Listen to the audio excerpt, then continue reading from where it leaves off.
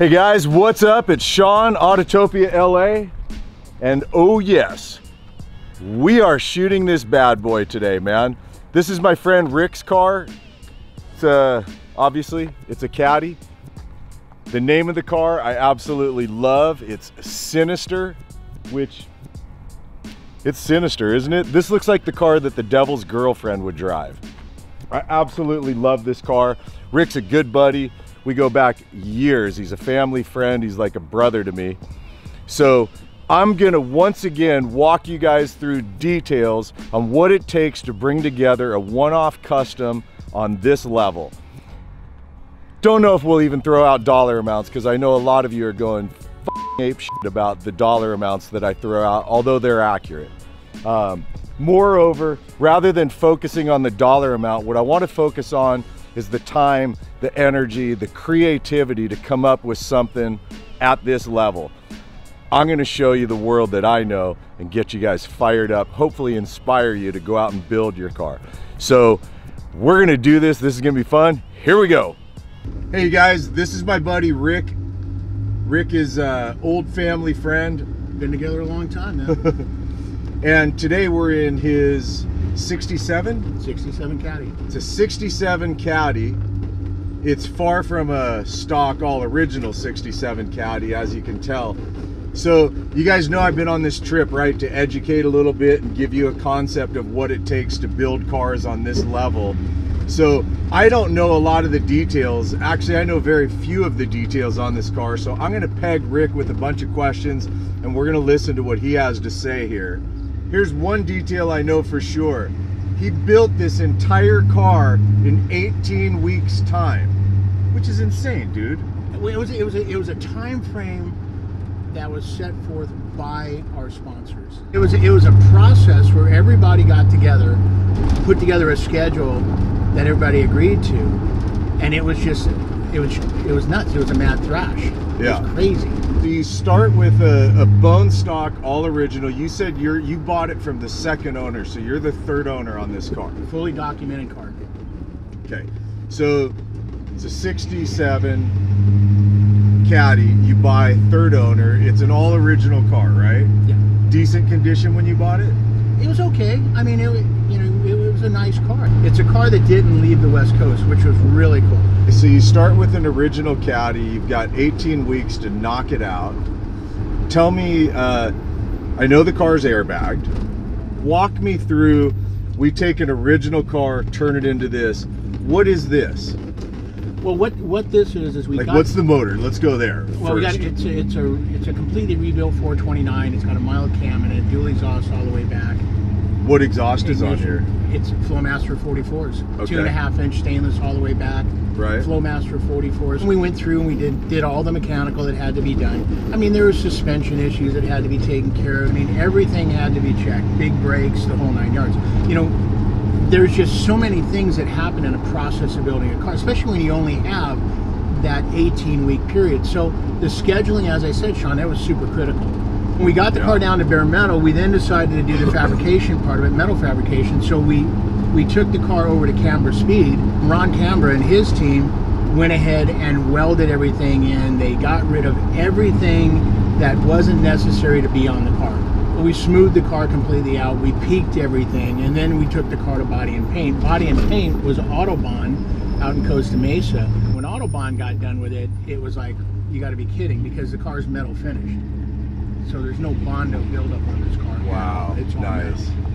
With a, with a car Which, by the way, you guys, did you just hear that? Because I know I've seen a couple of comments about, yeah, these custom cars, they're just full of a bunch of Bondo to make it look good, but then it all starts falling apart. So this is a zero, zero Bondo car, which right away is impressive. I think that's Because most people are going to opt for that. It's going to be the cheaper, easier, faster way to go, right? Rather than dealing with metal. Exactly. We opt to do everything in full metal, Right. which means basically body block and a hammer.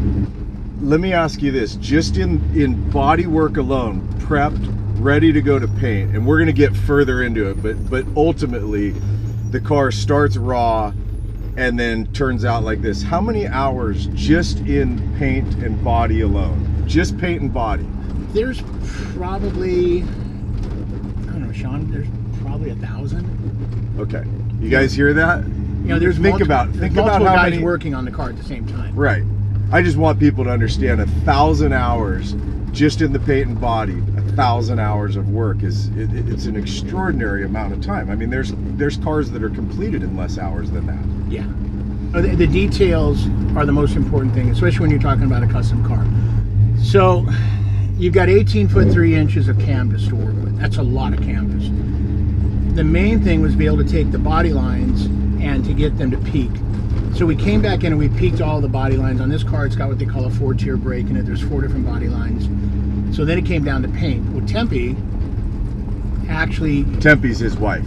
Tempe was able to work with PPG, who's our paint sponsor, and come up with a color which is called Sinister Blue.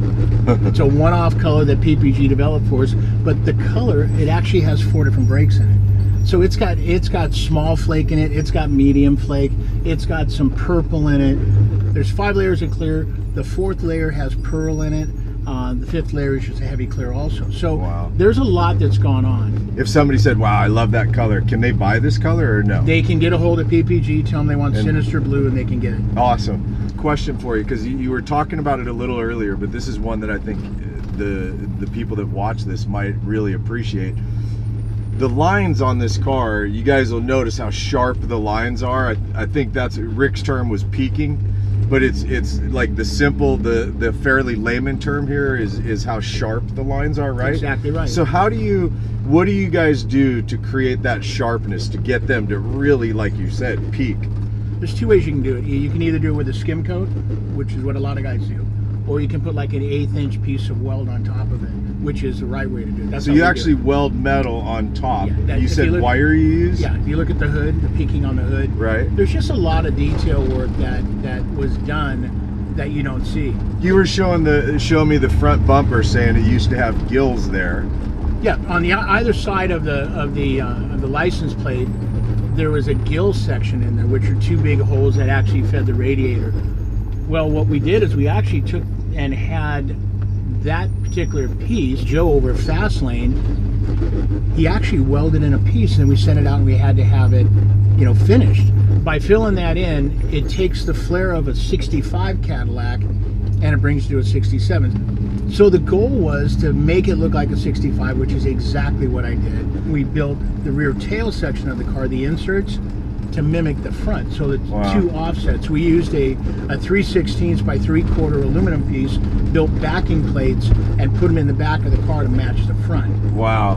And then of course we took the bumpers, we pinched the bumpers, you know, we we pulled everything in. It's all about the detail work, you know, and then the Absolutely. You know, the The, interior, the everything. marker, and and I, I remember you were also pointing out too, like how the side of this car, to get the it, as clean as it is, the marker lights went away. The chrome trim that would have been there, all the holes left from that now have to be filled, Well, Sean, one of the cool things, this is a chrome trim from the outside of the car. which is just awesome. I love that. You know, we wanted we wanted to get to a point where we had something that was just completely different. There's eight hides of Italian leather in this car,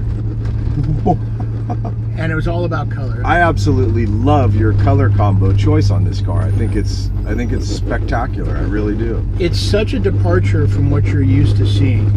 You know, going with the red interior, it was it was ridiculous because everyone's like, "My gosh, you know, what are you doing? What are you thinking?" totally. and it's like, you know, why not?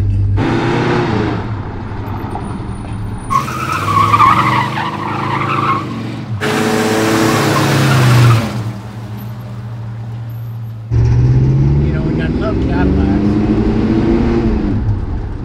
You know, Cadillacs are meant to be driven, and this car gets driven. I love that too. For the most part, everything is stock inside, but the part that you don't see is that it's got a 15,000 watt Alpine system in it. what we did, what we did is Alpine stepped to the plate through one of our suppliers, Z Auto Sound. Wait, wait, wait. Did you guys hear that?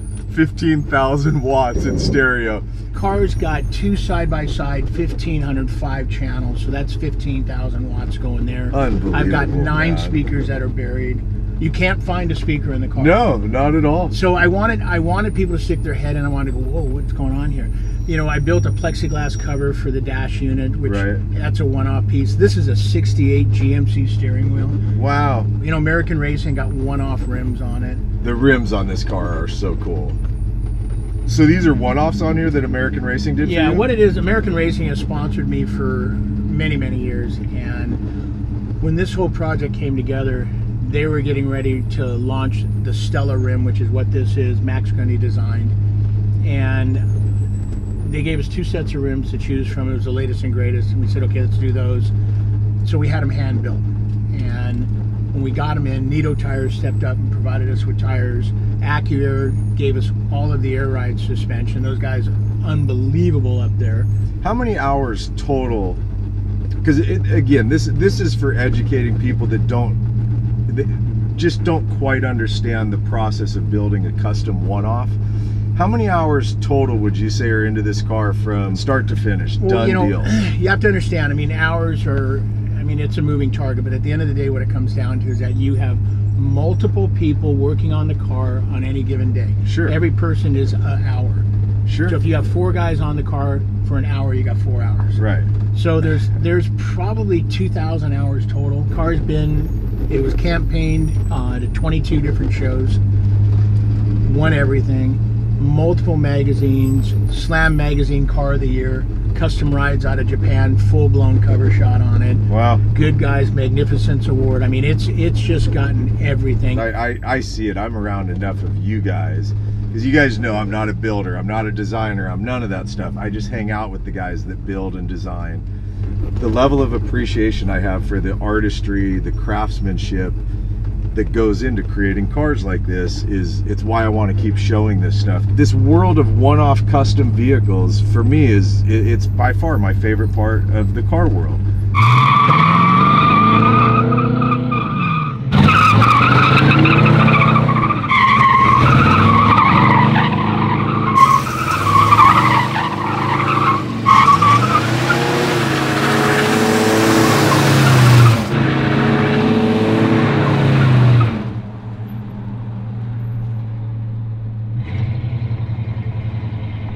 All right, you guys. Well, what do you think of the Sinister Caddy? Pretty badass, right? Definitely wasn't expecting a little bit of a smoke show from Rick. For any of you guys that jump out going, oh man, it's a one-legger. That's right. He's got the stock 12 bolt caddy rear end in this thing. And like he just said a few minutes ago, why wouldn't you keep it in there? It's bulletproof. It's guaranteed to work every single time.